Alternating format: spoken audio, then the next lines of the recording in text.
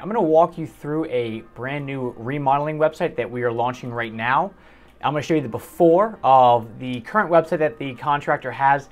They actually built it themselves. Then I'm gonna show you the after and kind of show you the transition between the two, show you exactly why we use certain things, and just kind of run you down exactly the mentality that we have when we work with the contractor to actually build a website. The website right now is being transferred over, so for some crazy reason, halfway through the before website looks like the after website, it's just because it's switched over. But we're gonna pretend like that's not gonna happen and move on otherwise. So the initial website that they first had is this one right here. It's great to establish your brand. However, when your logo is the first thing that you have right there, the unless you're like a Nike or an Uber or an Apple or some brand that everybody knows and can instantaneously look at this logo and go, okay, I know everything about the company, you may want to keep it smaller. And when I say may, you definitely want to keep it smaller. All right.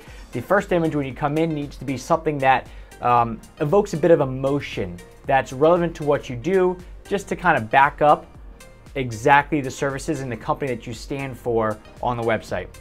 So coming down, pretty basic, um, you know, just showing some of the services that they provide. They're in a pretty unique situation because they were actually former building inspectors. So it's kind of a cool spin on everything where they now cross the line to the other side is now actually contractors. So we like to add a bit of that feel into the new website. So still going on the old website, honesty and reliability, quality construction, affordable pricing. The one thing that a lot of contractors and a lot of companies in general love to do is use buzzwords like this which is fine. However, how do we back that up and show them? What example or testimonial can we give them that will show people, okay, that makes sense?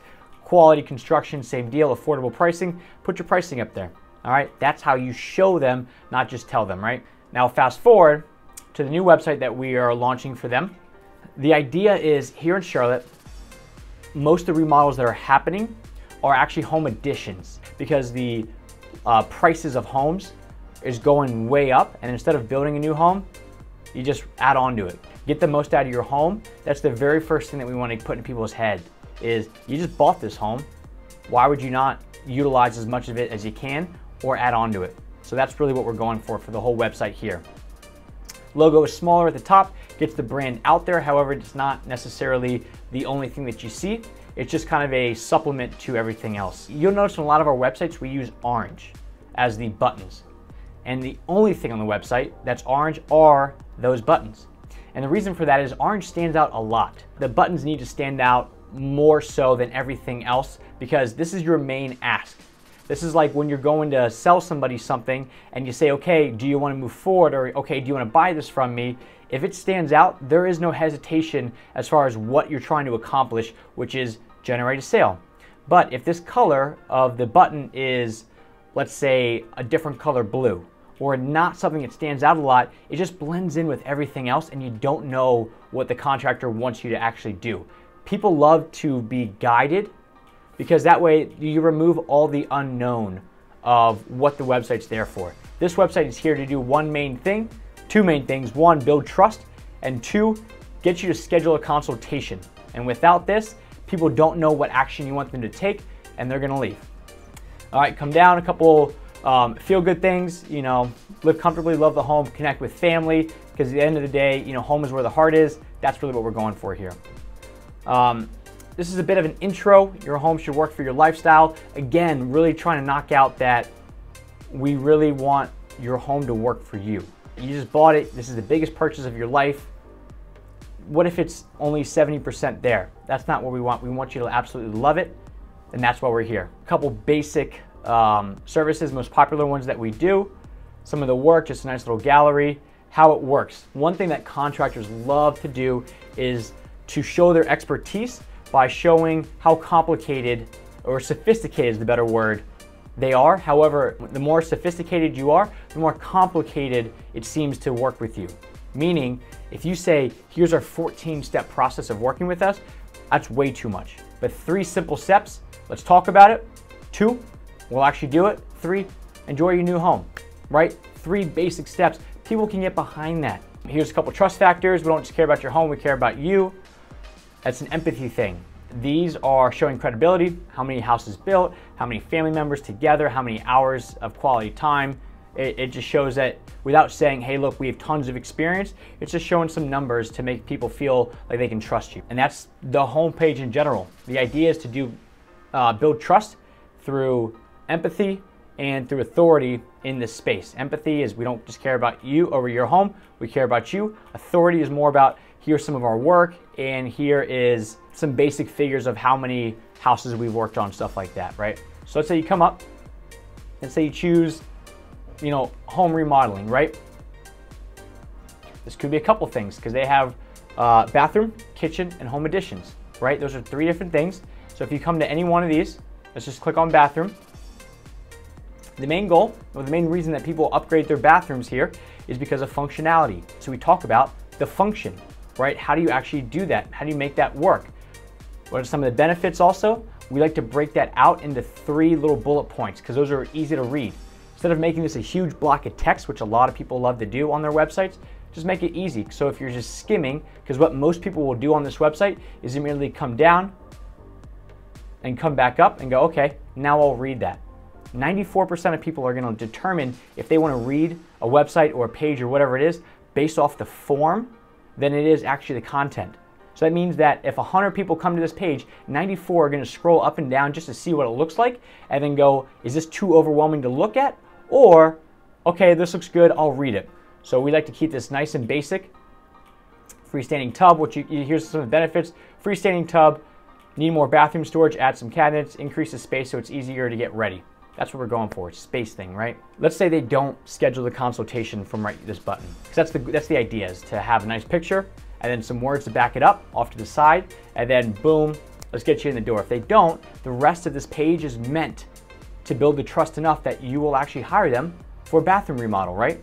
Here are some popular changes. People don't like to deviate from the norm. They like to stand out in a good way, but they don't want to totally deviate from the norm. So by just saying, here's what other people in your situation do and going third party, AKA popular bathroom changes, people like that. They want to go with the trends. So you're now steering them in the right direction. So based off this, this would say you got one or two options really, or both. Increase the space and or add a freestanding tub. Coming down again, three easy steps, right? Your vision, sit back and hang out, watch us deal, you know, deal with actual construction, and then relax and enjoy. Moving down, we'll go into the morning side of things, right? Bathroom renovations to enhance your morning, because everybody knows what that's like getting ready in the morning. So now we're going for the emotional play. You know what it's like in the morning when you get up and you know work is already stressful and then what's even more stressful? Well, now you gotta actually get ready and fight with your partner in the morning in this tiny bathroom. Let's go ahead and fix that. Let's expand it a little bit so you're not on top of each other. Putting a plan into action, before, design, after. Proof's in the pudding. A couple testimonials, and then finally the call to action. And that's how each one of these pages are set up. Build the trust throughout the whole thing. Talk a bit about how you care about you know what is going on with not just their home but also their family and their um, their life before or, or life after having the new bathroom. Um, show a bit of credibility with some testimonials and some pictures, and that really will build that you are the remodeler for them. All right, a lot of people, what they love to do on the About Us page is talk about them, which is you think would make sense, right? However, everything that you want to do on your About Us page is actually about the customer. How do you take what what is about you and spin it to about them? Devin has, she has a degree in construction management, right? You would then want to spin that into, you know, how does this actually benefit the contract or the homeowner? Or like she grew up in a, in a contracting industry, you know, like in that world. So this is actually the perfect fit for her because she's been doing it for her whole life. And don't overload them. A lot of people love to give all their criteria and all their details. And the more that you show, oh, I'm this super sophisticated person, again, it's confusing. All right, you could be high class and do things very professionally. However, at the end of the day, you don't need a PhD to, to install a new bathroom. So you don't need to put a PhD on there. And then finally, the um, we'll do the mm, schedule a consultation page. How about that? Come on in. Basic name, email, phone number. You don't need address. Pretty much what you want here is you want to ask the minimum amount of information to be able to call that person up or get in contact with that person and have a good conversation. Some people like to do address, budget, all this stuff. The more spaces that you have for people to fill out, the more overwhelming it is because it looks like you got to fill out a lot of stuff and people don't want that. And you may be thinking, well, I don't really want somebody, you know, who's not going to fill this form out for, you know, a $20,000 project. Yes, however, the website's job is to help you sell, not sell it 100% for you. It's a sales tool, but not the end all be all. You just want to get them on the phone and then work your magic as a salesman to just figure out what's going on. Can you help them? Walk them through that process.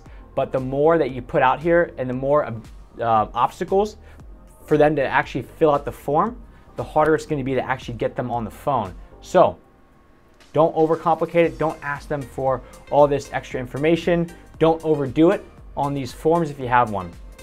Um, and then finally, add a couple trust factors right here on the contact us page because you're asking them for something. You're asking them to give up their information.